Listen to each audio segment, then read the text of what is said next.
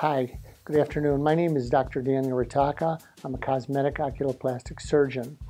Uh, I've been practicing uh, cosmetic dermatology and plastic surgery of the eyes for close to 40 years. What we're going to discuss today is uh, a secret.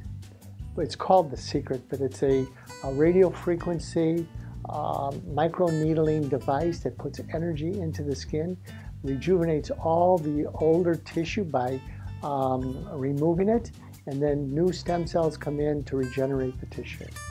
Uh, we can treat the neck. We'll show you some uh, photographs of the neck.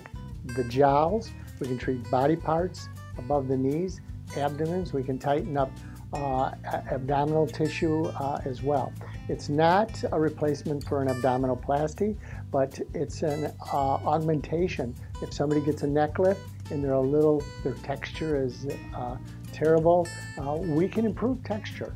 I welcome you to call the clinic. We do teleconferencing, but I'd love to see you, and I'm sure that I can uh, rejuvenate your uh, skin and any other features of your uh, body. Thank you.